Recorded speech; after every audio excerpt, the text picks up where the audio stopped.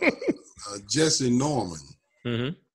Uh, Jessye, Mama saw Jessye Norman in the seventh grade. I never, I'll never forget. We were over at Charles T. Walker one night Mm-hmm. for something in the auditorium where your granddaddy was the principal. At That's right. time. My granddaddy was the principal.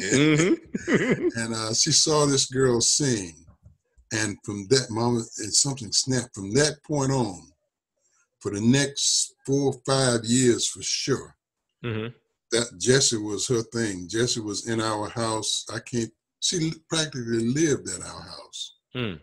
Uh, with Mama going, you know, train, you know, teaching her vocal techniques and uh, and exposing her to musics and, and all this.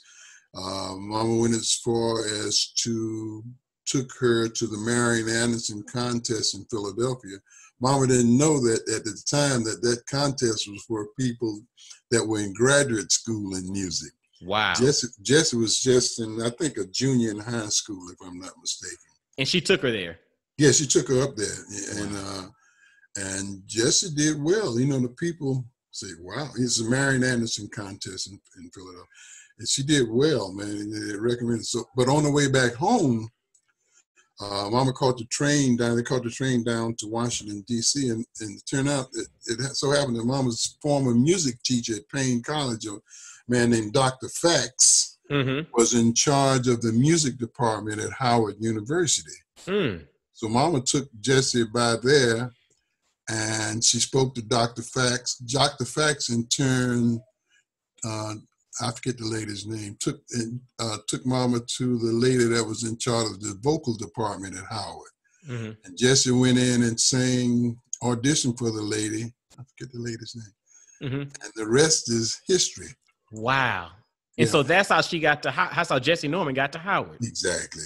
It, it turns out too that uh, you know her, the spelling of it. Mama was very. She saw. She knew what was happening with Jessye. You know, Mhm. early on. Uh, you know, Jessye's original spelling. Her name was J E S S I E. Mm-hmm. Mama changed that to J E S S Y E to put a little more bling to it. Is that a word? Wow.